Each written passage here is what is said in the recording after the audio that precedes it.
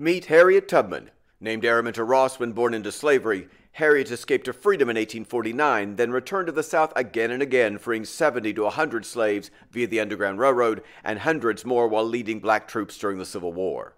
Actress Glennis Brooks, creator of the one woman show Harriet Tubman An American Hero, shares why she chose to focus on the life of the woman known as Moses.